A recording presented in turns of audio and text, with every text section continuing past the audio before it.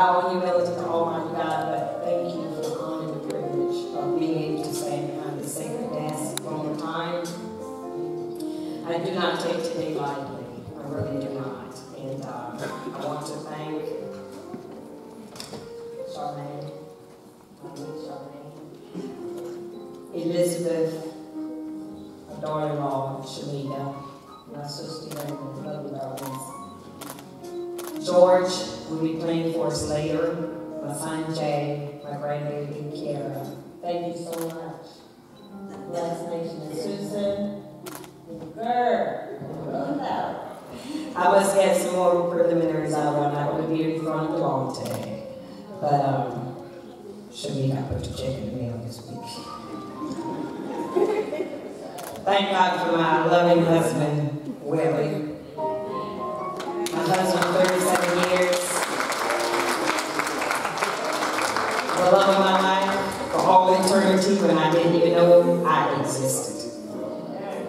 designed him just for me.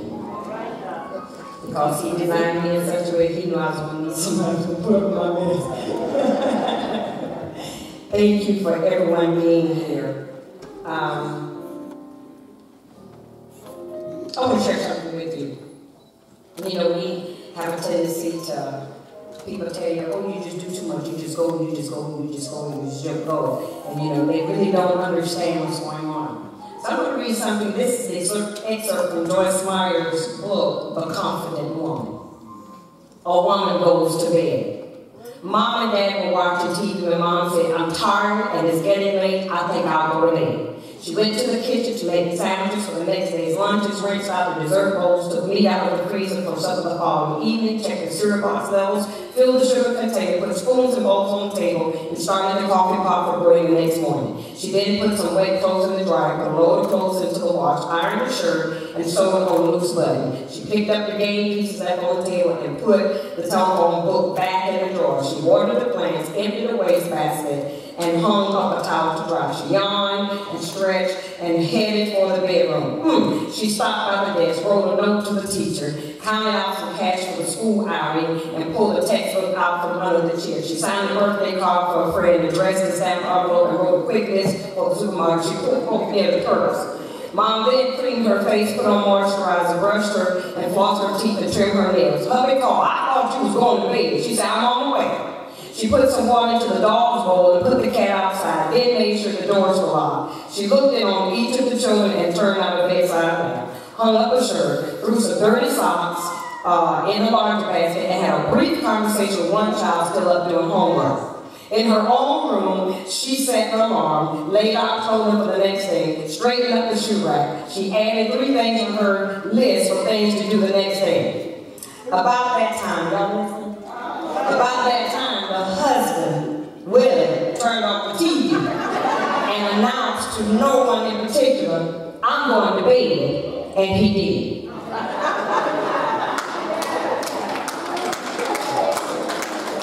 we are busy women as warriors.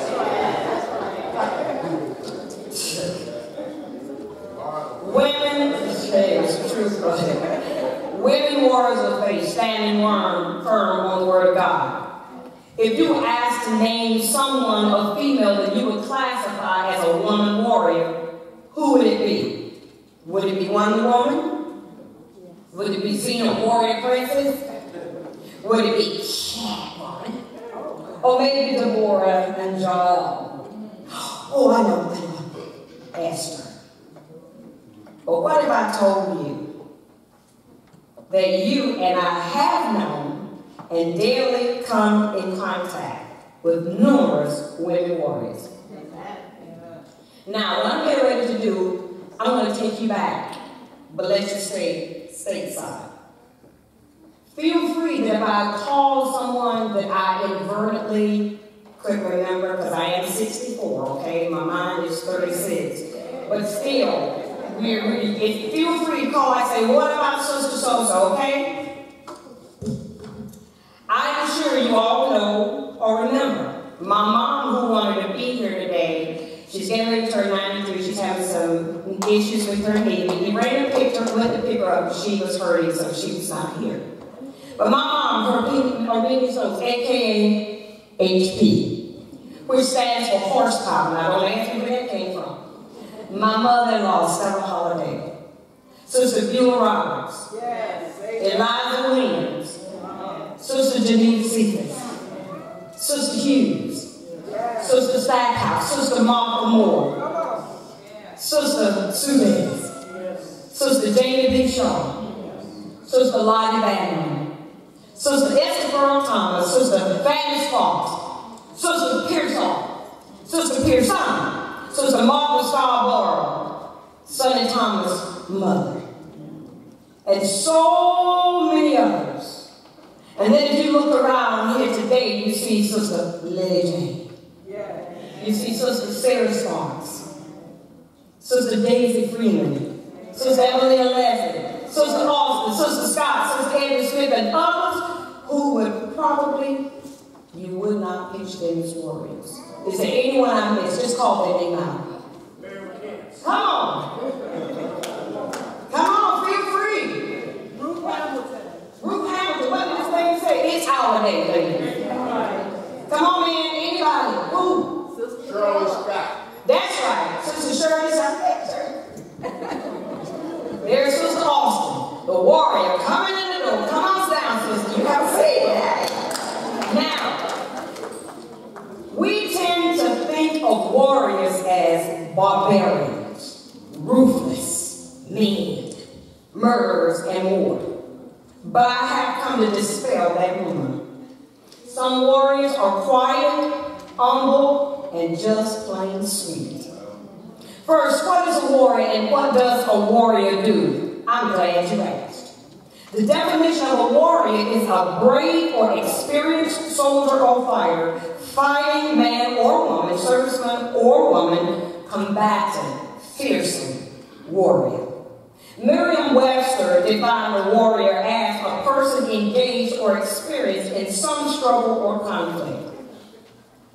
Dictionary.com gave this definition. A person engaged or experienced in warfare, soldier, a person who shows or has shown great vigor, courage, or aggressiveness, as in politics or athletics. Now, Ms. Brenda Fong, she's into politics. Come on, girl. Vocabulary.com adds this. Although logically linked with some someone engaged in war, a warrior can be anyone who fights the good fight. Author Carlos Castaneda quoted the following in reference to a warrior. Nobody is born a warrior. In exactly the same way that nobody is born an average person. We make ourselves into one or the other. Today I have come to shed some light on our role as women warriors of faith. First, we have to decide are we wounded women or warrior women? As sisters in Christ, we have the tools necessary to help each other be the latter. But first, we have to get beyond being the former. Any of us can easily become a wounded woman without even thinking about it.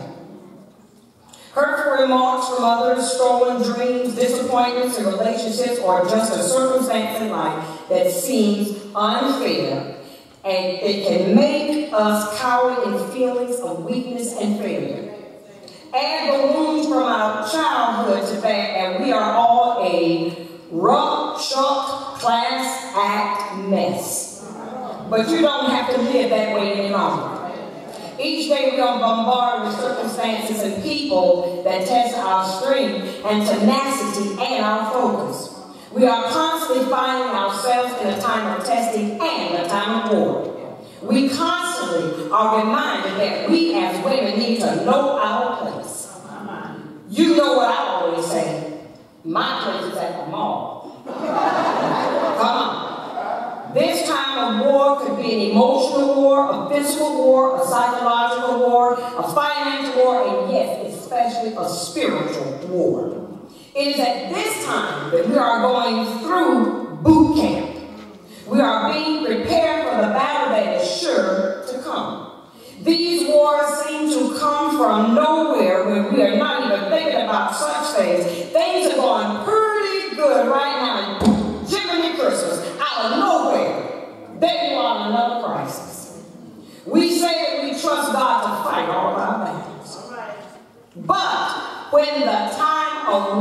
comes face to face with our doubts, our questions, and the rubber meets the road, it is then that we try to hide the fact that maybe we do not trust God as much as we say we do. Ephesians 6.12 tells us that if we are followers of Christ, our struggle is not against flesh and blood, but against the rulers, against the authorities, against the powers of this dark world, and against the spiritual forces of evil in the heavenly realms. That tells us that we ought to be warriors, not women who wallow in our wounds.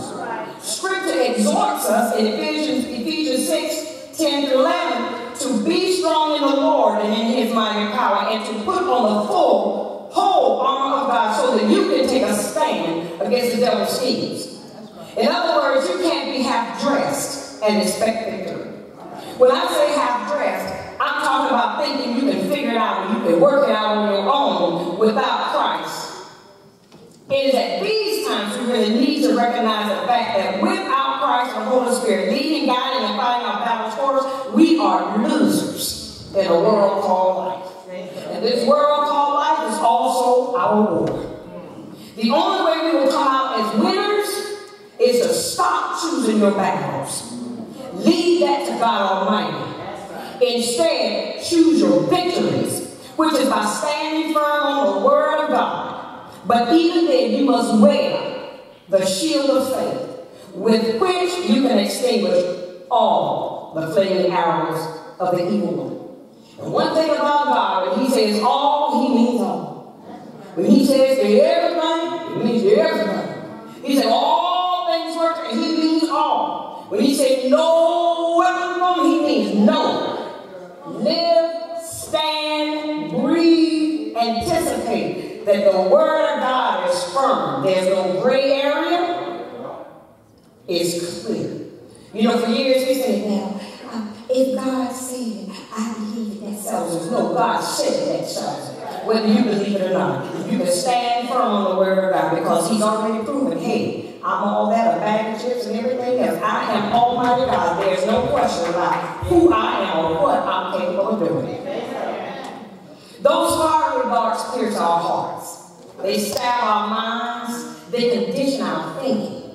They convince us that God's words are lies and the enemy's words are true. Which sometimes are our own thoughts and sometimes actual words spoken to us through other people. But Scripture tells us to put on the whole armor of God as a defense against these lies, accusations, and fiery darts. I couldn't help but think about how many of us fall prey to the flaming arrows of fiery darts of the enemy because we believe his, his lies. We react in such a way that gives the enemy, Satan, access to what should be our most guarded weapon.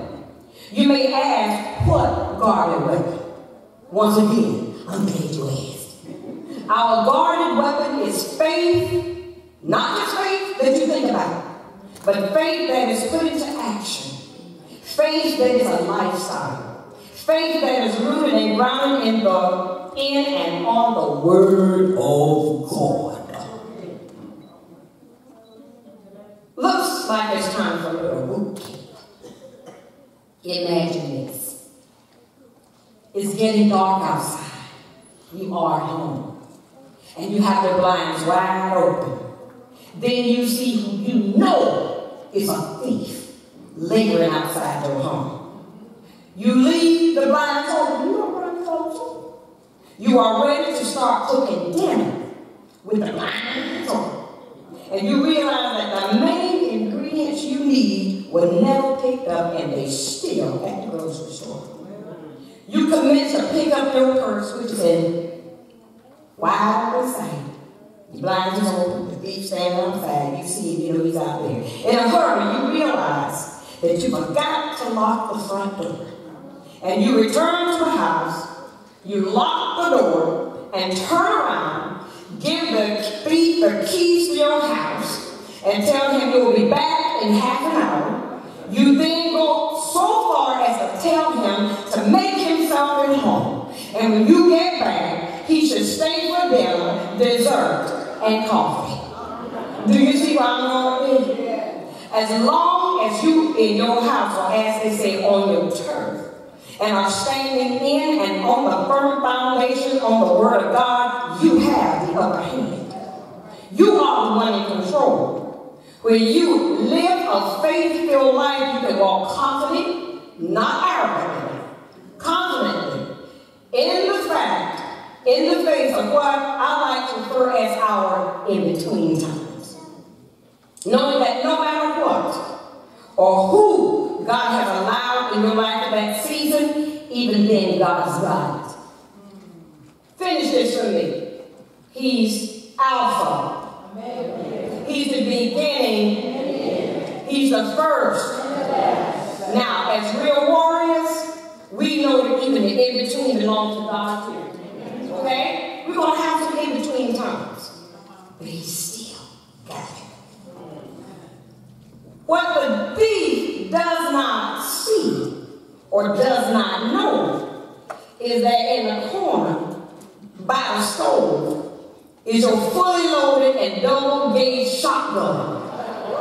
And on the other side of the kitchen, where nobody can see him, is a 93 pound pit bull and a 116 pound Doberman. These are your guarded weapons. And you do know how to use the gun because you've been trained. And because the attention and the love and the care that you show your dogs, they will fight to the death to save you. Christ's death on the cross is our victory. As long as you have faith in all that Christ has given you to be equipped for you are at an advantage over. Next time the enemy starts shooting his fiery darts at your heart and mind, making you think you are defeated, don't shrink from the attack. Don't become a wounded woman who falls prey to his lies, accusations, and his schemes. Instead, be a warrior woman. Knowing the truth of who you are and the power of Christ and you stand firm, clothed in Christ by abiding in the character and the identity of Jesus Christ. Let me break it down how you dress a war. First of all, it's the levels. Scripture tells us to put on the whole armor of God as a defense against those lies, the accusations, and the fiery darts. What does it mean to actually put on the armor of God? We're not just putting on another outfit as usual. We suit love. We suit love. We are to fasten the belt of truth around our waist, which means to know at the core of our being that Jesus is the truth. Jesus said, I am the way, the truth, and the life. We are to wear the breastplate of righteousness, meaning we are to cover our hearts with Christ, who is called the Lord of righteousness. We are to take up the shield of faith in order to extinguish those fiery darts from the enemy. Psalm 84 11 tells us the Lord is a sun and shield, and Christ is the object of our faith. We are to put on the helmet of salvation by guarding our heads and our minds with Christ. Because salvation is found in no one else. We are to take the sword of the Spirit, which is the Word of God. John 1.14 tells us, Jesus is the Word made flesh. So when the enemy starts shooting his fiery darts in your heart and mind, making you think you're defeated, you know what you got to do. The easiest way for me to remember to suit up each day is to pray through every piece of armor that I'm getting dressed in. As I'm putting on my clothes, I ask God to clothe me with his character. Wrap me up in his truth. Cover my heart with his righteousness. Guard my mind with his salvation and so on. And to keep me focused on the war I'm in. I spend time in his presence, praising him for who he is a mental reminder that He is God and bigger than any problem or pain in my life. Reading His word and getting his advice for the of the world's. And listening for his voice, listening for his voice, which remind me who my commanding officer is. The King of Kings, not my fears, not my doubts, not my wounds, and definitely no regrets. Women warriors are trained to stand in gap for the entire platoon. Yes, even the ones that have shown you that you are not their type. They put others before themselves before they realize this war is all for one and one for all. They have to be willing to pray without ceasing and live in such a way that those coming behind them will want to know more about the God that they are fighting for. I think about Senator John McCain. When he and his fellow soldiers were captured and tortured for years, it went on and on. And one day he was finally given the opportunity to go, leave, go home. But he refused and responded, I will leave only when all of us can leave. That is the characteristic of a true warrior. A true warrior for Christ is one who, no matter how uncomfortable it may be for them, they remember that it's not about them, it is all about Jesus Christ. The family of God and their witness to others. The beauty of God's provision and instruction are more than our minds could ever really comprehend. So I'm going to break it down just a little bit for you when the enemy whispers in your ear, no one will really love you. Whisper in his ear, John 3.16. For God so loved the world that he gave his only begotten Son, that whosoever believes in him should not perish but have everlasting life. That includes me. When the enemy whispers in your ear, you are a pathetic, poor excuse of a woman. Whisper in his ear. Psalm 139, 14. I will praise God, for I am fearfully and wonderfully made. Marvelous are God's works, and that my soul knows very well. When Satan whispers in your ear, you should be ashamed of all those things in your past. Nobody wants to hear a thing you want to say. Whisper in his ear. Romans 8, 1, 15, 16, 17. Therefore, is now no condemnation to those who are in Christ Jesus. Who not walk according to the flesh, but according to the Holy Spirit. For you, I did not receive the spirit of bondage again to fear, but I, you, receive the spirit of adoption. We cry out, Abba, Father. The Spirit Himself bears witness with you and my spirit that we are children. I am a child of God, and if children and heirs, heirs of God, and joint heirs with Christ. If indeed, hold yourself back, because you're still whispering, we got to get. If indeed we suffer with Him, that we may also be glorified together, and that includes me. Then if he still hasn't got it and is determined to keep whispering your ear, this is what you do. Whisper in his ear. Romans 8:31. If God be for me, then who can be against me? When Satan whispers in your ear, you can never live a life of meaning and purpose purpose, so don't even try. Whisper back in his ear. Jeremiah 29. My heavenly Father, my daddy, has told me, for I know the plans I have for you, plans to take care of you, not abandon you. Plans to give you a future you hope for. Hebrews 4 12 says, For the word of God is alive and powerful. It is sharper than any two-edged sword, cutting between soul and spirit, between joint and marrow. It exposes our innermost thoughts and our desires.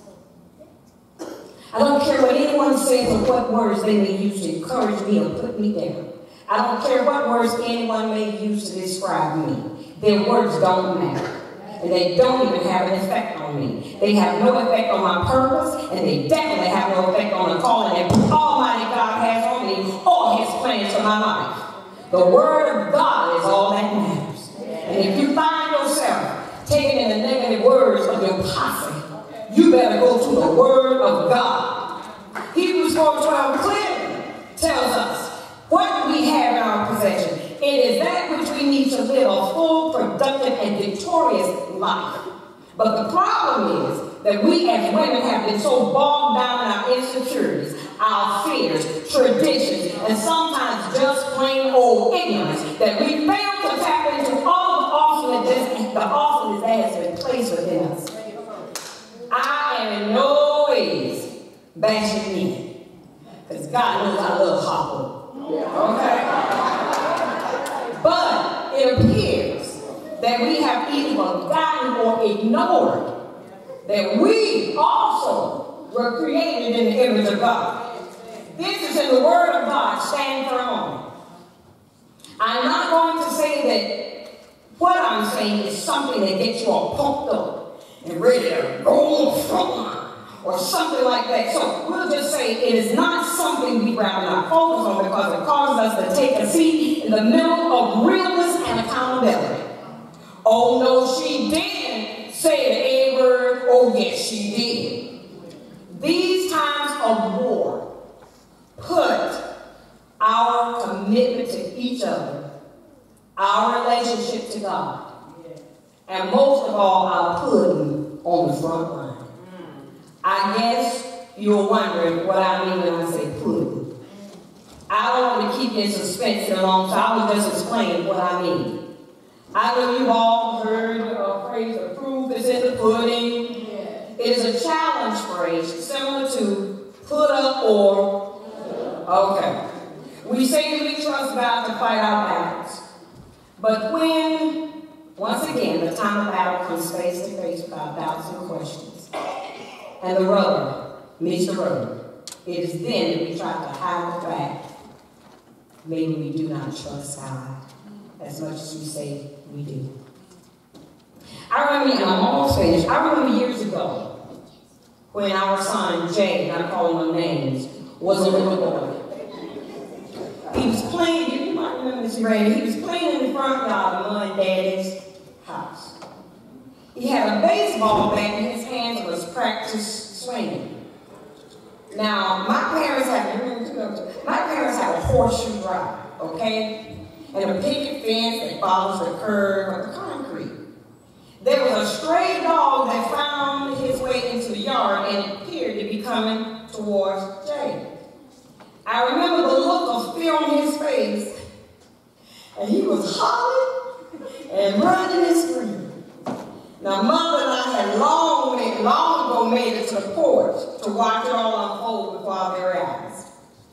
As Jay was producing all this drum,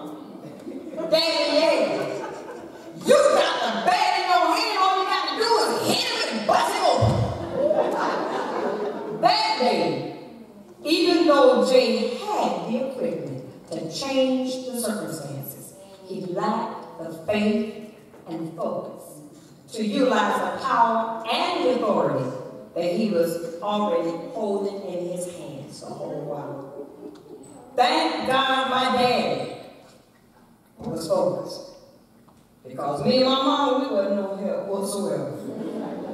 In closing, face each day with a clear reminder of who you really are in Jesus Christ. Live your life as a warrior woman, not as a wounded woman. Next time you are facing the new mercy of another day, and you feel you are not strong enough, and the enemy whispers in your ear, You are not strong enough to handle the storm. Suit up, wield your sword like Xena, the warrior princess. Whisper in his ear, I am a child of God. Amen. A woman of faith, a warrior of Christ. And then shout in his ear, like a furious, fearless warrior that you are, and say, I am the storm, Satan. We are going to take on the world as a warrior, woman of Christ, of faith, standing firm on the word of God.